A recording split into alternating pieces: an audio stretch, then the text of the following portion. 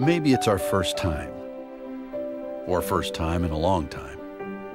No matter how long it's been, there's nothing like experiencing the unmistakable sounds, the memorable sights, and the limitless energy of a city called Detroit.